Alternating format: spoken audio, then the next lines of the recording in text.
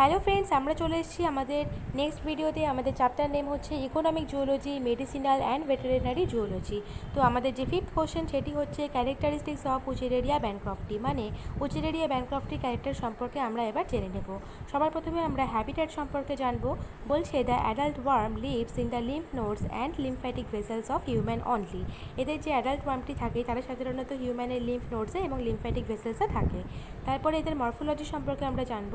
বলছে adult are long hair like transparent and filiform thread like in shape এদের যে adult ওয়ার্মটি হয়ে থাকে, তারা লং হয়ে থাকে। এদের স্ট্রাকচারটা হেয়ার লাইক হয়ে থাকে এদের ট্রান্সপারেন্ট অর্থাৎ স্বচ্ছ হয়ে থাকে এবং এদের যে শেপটা সেটা ফিলিফর্ম থ্রেড লাইক হয়ে থাকে।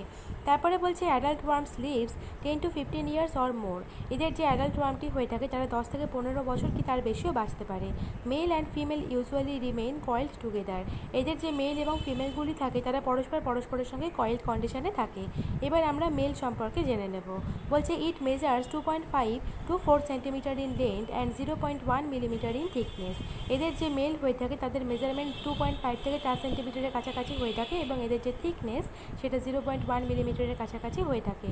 তারপরে বলছে the tail is curve ventrally এদের যে টেলটা হয়ে থাকে, সেটা ভেন্ট্রাল পজিশনে কার্ভ থাকে and possess two spicules of unequal length এবং এদের যে দুটো স্পিকিউল থাকে, তাদের দুটো স্পিকিউলের সাইজ কিন্তু আনইকুয়াল হয়ে থাকে। তারপরে আমরা ফিমেল সম্পর্কে জেনে নেব। বলছে the female worm measures eight to ten centimetre into zero point two to three millimetre এদের যে ফিমেল ওয়ার্ম হয়ে থাকে, তাদের মেজারমেন্টটা আট থেকে দশ centimetre into zero point two থেকে তিন মিলিমিটারের কাছাকাছি হয়ে থাকে। The tail end is narrow and pointed এই যে ফিমেল হয়ে থাকে এদের টেইলের যে এন্ডটা সেটা ন্যারো হয়ে থাকে এবং সেটা পয়েন্টেড হয়ে থাকে। The female lay actively motile embryos and are ovoviviparous এবং এদের যে ফিমেল হয়ে থাকে, তারা অ্যাক্টিভলি মোটাইল এমব্রায়ো লে করে এবং তারা ওভোবিবিপেরাস হয়ে থাকে। এবার বলবে এমব্রায়ো মানে হচ্ছে মাইক্রোফিলারিয়া সম্পর্কে। বলছে passing through lymph nodes the actively motile embryos find their way into circulatory blood এবং এই যে এমব্রায়োটা রয়েছে বা মাইক্রোফিলারিয়াটা রয়েছে, এরা কিন্তু লিম্ফ নোটসটা পাস করার পরে এরা অ্যাক্টিভলি যেহেতু মোটাইল হয়ে থাকে, এই জন্য তারা কিন্তু এরপরে সার্কুলেটরি ব্লাডের মধ্যে প্রবেশ করে যায়। তারপরে বলছে, তার লার্ভি রিটেইন এক্সেল এবং তারপরে কিন্তু সেই লার্ভিগুলি এক্সেল রিটেইন করে। তারপরে বলছে হায়ালিন শীত এটা কি জিনিস? বলছে it is the envelope of the eggs এটা কিন্তু ডিমের এনভেলাপ হিসেবে কাজ করে the larva can move within this sheath এবং যে লার্ভাগুলি হয়ে থাকে, তারা কিন্তু এই শীতের মাঝখানে খুব ভালোভাবেই মুভ করতে পারে। এবার এদের সাইজ সম্পর্কে আমরা জেনে নেব। বলছে it measures two hundred seventy five to three hundred into eight to ten micrometre এদের যে সাইজটা হয়ে থাকে, সেটা দুশো পঁচাত্তর থেকে তিনশো ইন্টু আট থেকে দশ মাইক্রোমিটারের কাছাকাছি হয়ে থাকে।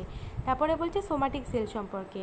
বলছে this cells are distributed along the axis of the microfilaria and are called somatic cells or nuclei এই যে সোমাটিক সেলসগুলি হয়ে থাকে, সেগুলি মাইক্রোফিলেরিয়ার অ্যাক্সিস বরাবর থাকে এবং তাদেরকে সোমাটিক সেলস বা নিউক্লি বলা হয়ে থাকে। এরপরে বলছে জেনিটাল সেল সম্পর্কে। বলছে this cells are situated anterior to the anal pore এই যে সেলগুলি হয়ে থাকে, সেগুলি অ্যানাল পোরে যে অ্যান্টেরিয়ার কন্ডিশন অ্যান্টেরিয়ার যে পজিশন হয়ে থাকে, সেখানে কিন্তু এই জেনিটাল সেলগুলি থাকে। তারপরে বলছে central body of Manson it extends from the anterior body to the genital cells and represents rudimentary alimentary canal বলছে এই যে সেন্ট্রাল বডি অফ ম্যানসান থাকে, সেটা এই যে ওয়ার্মগুলি থাকে তাদের অ্যান্টেরিয়ার বডি থেকে জেনিটাল সেল বরাবর থাকে এক্সটেন্ড থাকে এবং তারা কিন্তু রিপ্রেজেন্ট করে rudimentary alimentary canal if this microfilariae are not suck up by the mosquito যদি মসকিউটো দ্বারা এই সমস্ত মাইক্রোফিলারিগুলি সাক আপ না হয়, তাহলে কি হয়? They die in course of the life span of the microfilaria could be up to seventy days তাহলে কিন্তু সত্তর দিনের মাথায় এই মাইক্রোফিলারিয়াগুলি মারা যায়। তোমাদের যদি আমার ভিডিওগুলি ভালো লেগে থাকে তাহলে অবশ্যই আমার চ্যানেলটি সাবস্ক্রাইব করতে ভুলো না এবং পাশে থাকা বেল আইকনটি অবশ্যই প্রেস করতে ভুলো না এবং আমার ভিডিওটি অবশ্যই লাইক করো এবং বন্ধুদের সাথে শেয়ার করো। Thank you.